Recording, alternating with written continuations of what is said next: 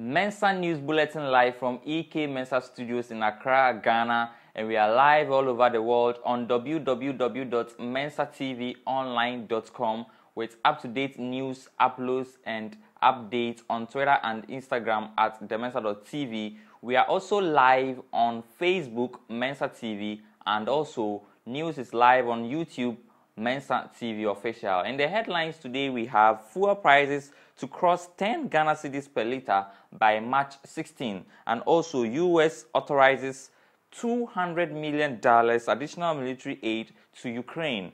Also, Instagram no longer accessible in Russia. My name is Kweku Mensah. Let's take the details.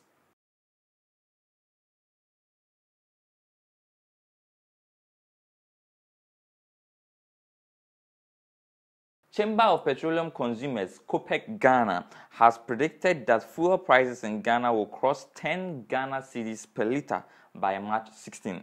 Fuel prices, however, has already been crossed, um, has crossed the 8 Ghana cedis um, liter um, mark that was given. COPEC, in a statement issued on Monday, 14th uh, March, said the petroleum price indicators of 11th March averages for calculating ex-pumps prices begin from Wednesday, the 16th of March 2022. It shows that the FOB price of petrol has increased by 19.28%. Now into our next story, U.S. President Joe Biden authorized some $200 million in additional military equipment for Ukraine on Saturday as Russia widens its bombardments and pummel civil areas. Washington already, however, has authorized some $350 million of military equipment on February 26, the largest package um, in the history of U.S.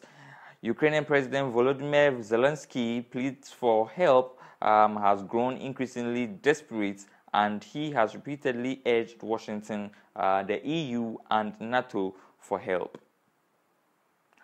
Now to our next story. Instagram was inaccessible in Russia on Monday after Moscow accused its parent company Meta of allowing calls for violence against Russians, including the military on its platforms.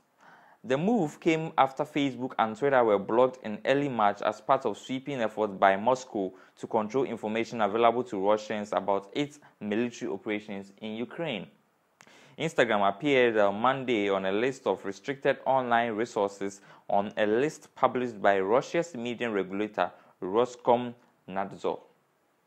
For many small Russian businesses, Instagram was a way and uh, a key platform for them to advertise and process sales uh, as well as communicating um, with clients.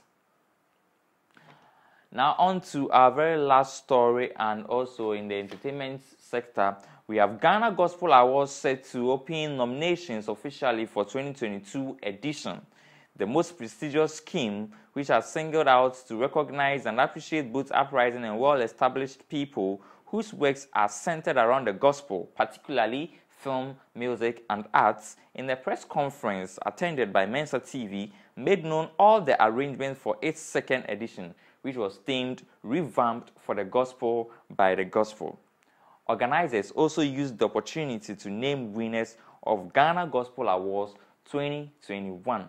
The news has ended. We have more news on Twitter and Instagram at themensah.tv. Also, visit us at www.mensahtvonline.com.